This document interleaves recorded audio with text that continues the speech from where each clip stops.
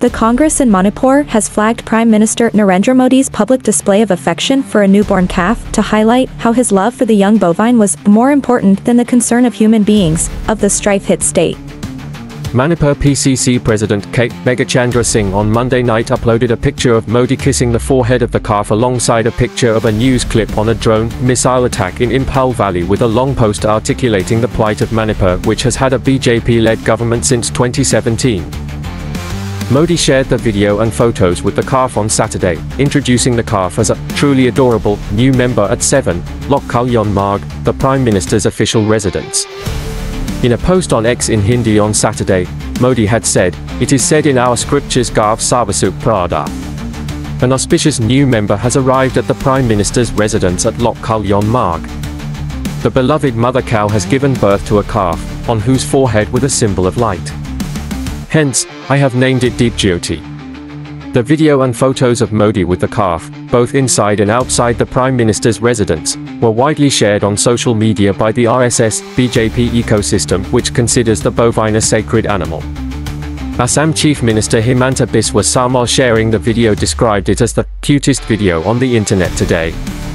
However, the MPCC president, who is also a sitting MLA, was apparently not impressed, going by his long post on X, PM Modi Ji's, at Narendra Modi, love and care of a calf is more important than the concern of human beings of Manipur, who are his fellow citizens in the state. He spent time with the calf but not with the people of Manipur. Meghachandra added, for the sake of humanity, he must visit the state as we are also the citizens of India.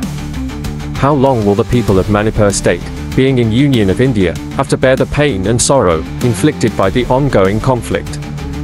Where is the morality of the responsible govt under Modi 3.0? Innocent civilians are being killed in aerial bombarding, rocket launcher airstrike and cross-firing as the attacks on them still continue. When is PM Modi Ji going to visit Manipur? When will Prime Minister realize he is also the Prime Minister of the people of Manipur? Meghachandra asked. The strife between the Kukizos and the Meiteis has claimed over 234 lives and displaced over 60,000 in the state. Modi has not visited Manipur since the conflict began on May 3, 2023.